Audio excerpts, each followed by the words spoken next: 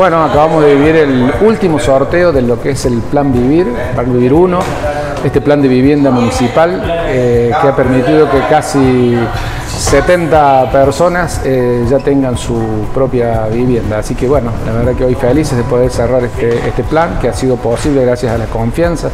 de todos los adjudicatarios y, bueno, y el trabajo del municipio para administrar eh, estos fondos que cada uno de los vecinos eh, participantes del sorteo eh, administraba. Y bueno, fundamentalmente también el municipio me puso a disposición los lotes